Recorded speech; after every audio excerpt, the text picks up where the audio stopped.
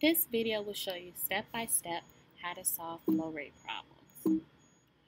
So for example one, you have a patient is receiving azithromycin intravenously at a rate of 16 drops per minute. How much solution is infused in 8 hours if the infusion set delivers 20 drops per ml? So the infusion rate is 16 drops per minute and every 20 drops is 1 ml and it's being infused over 8 hours. So they want to know in 8 hours how much solution is the patient getting. So the first step is to convert the 8 hours to minutes. And you just do this by setting up a proportion. So since there's 60 minutes in every hour, 8 hours is 480 minutes. So the next step is to find the total amount of drops. So since there's 16 drops per minute and a total of 480 minutes is the infusion, you have 7,680 total drops.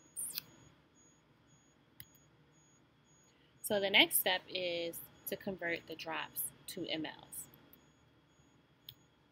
So since every ml has 20 drops and you have a total of 700 7,680 drops, that gives you the answer of 384 mLs.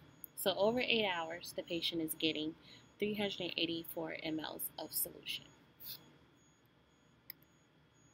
For the next example, you have a medication that contains 1,000 mLs of D5W to be administered for 8 hours. The IV is set at 10 drops per ml.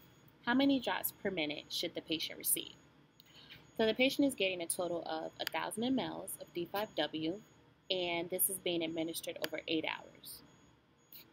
So they want to know how many drops per minute the patient is getting, and every 10 drops is 1 ml of solution. So since you know you have a total of 1,000 liters over 8 hours, you just divided the 1,000 liters by 8 hours to find out how many mLs you're getting per hour. And that is 125 mLs per hour. So the next step is to convert mLs per hour to mLs per minute. And you do this just by dividing the 125 mLs per hour and you divide that by 60 minutes since there's 60 minutes in every hour. And that will give you 2.08 mLs per minute. So every minute the patient is getting 2.08 mLs of solution. So then you convert mLs to drop and you do that by a proportion.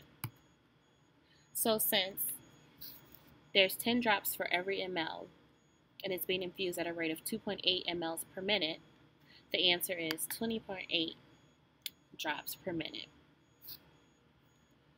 Thank you for listening to this video, and I look forward to seeing you at the next one.